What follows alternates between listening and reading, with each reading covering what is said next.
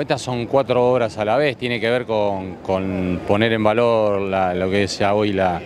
avenida Zarratea, que siempre estaba rota, siempre guardaba agua, siempre se desviaba el tránsito hacia las, hacia las paralelas, más destrucción hacia, hacia los barrios tanto de San Martín como de San Isidro. Además de la cuestión del, de la ensanche, la hidráulica que la acompaña para que la obra sea definitiva, el hecho de pasar por debajo del Belgrano Norte, con, semejante, con semejantes dimensiones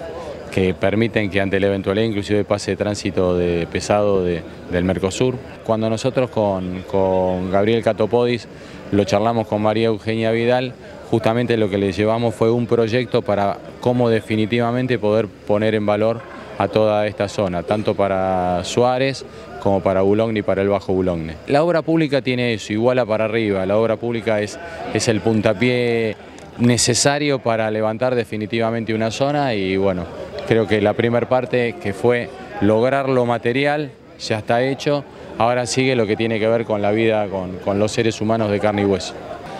Eh, me parece una obra muy importante, esto lo esperábamos hace muchos años, eh, no solo el, túnel, sino el Serratea, que era un desastre. Yo desde que soy chico vengo escuchando de que se iba a ensanchar Zarratea y este gobierno lo hizo. Siempre ha sido una comuna de mucha gestión y bueno, esto es algo incomparable y que nos beneficia a todos. Aparte otra cosa, eh, esto se, eh, era tan distinto, se embelleció, tienen luces, es una barbaridad. Desde el 62 he visto hacer la Panamericana, he visto esto construirse, que es un privilegio para todos, como muchas cosas, y que eso estamos agradecidas a nuestro intendente de acá del partido de, San Isidro, que tendríamos que agradecerlo. Esto es algo maravilloso, ni soñado que iban a hacer esto. Algo que le dio vida a todos los comercios,